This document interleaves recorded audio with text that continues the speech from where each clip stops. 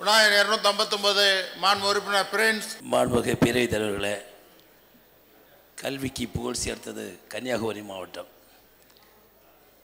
தமிழுக்கு மேன்மை கொடுத்தது கன்னியாகுமரி மாவட்டம்.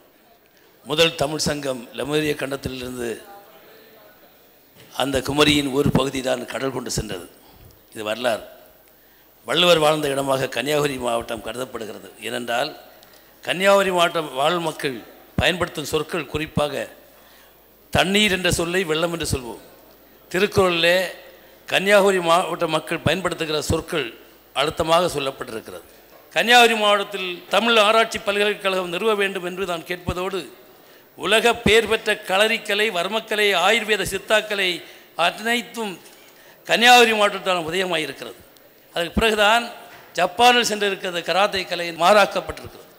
ஆகவே இப்படிப்பட்ட கலைகளை தந்த கன்னியாகுமரி மாவட்டத்திற்கு முக்கிய தர வேண்டும் என்று மீண்டும் மாண்புமிகு அமைச்சரை நாங்கள் மூலமாக கேட்டு அமர்கிறேன். மாண்புமிகு பேரவைத் தலைவர் அவர்களே கன்னியாகுமரி மாவட்டத்தின் தொன்மை மற்றும் கலை பண்பாட்டு பாரம்பரியம் அனைவரும் அறிந்தது.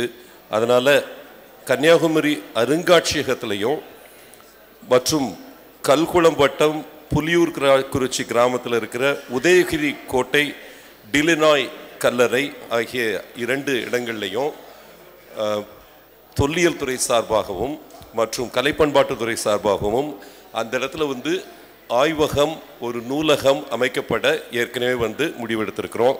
அருங்காட்சியகத்தை விரிவுபடுத்தும் பொழுது அங்கே வந்து மற்ற வரலாறுகள் மட்டும் இல்லாமல் கலைப்பண்பாட்டு வரலாறு மற்றும் தமிழ் இலக்கிய வரலாறு அங்கே இருக்கிற முன்னோடிகள் நீங்கள் சொன்ன பல முன்னோடிகளுடைய அவங்களுடைய போர்ட்டல்ஸ் அந்த இடத்துல உருவாக்க போகிறோம் அது போக தஞ்சையில் இயங்கி வரும் சவுத் ஜோன் கல்ச்சுரல் சென்டர் ஆளுநர் தலைமையில் இயங்குகிற தென் பாரத பண்பாட்டு மையத்தின் சார்பாக ஒரு கலை கிராமம் தமிழகத்தில் உருவாக்குறதுக்கு ரெண்டு கோடி அலாட் பண்ணியிருக்காங்க.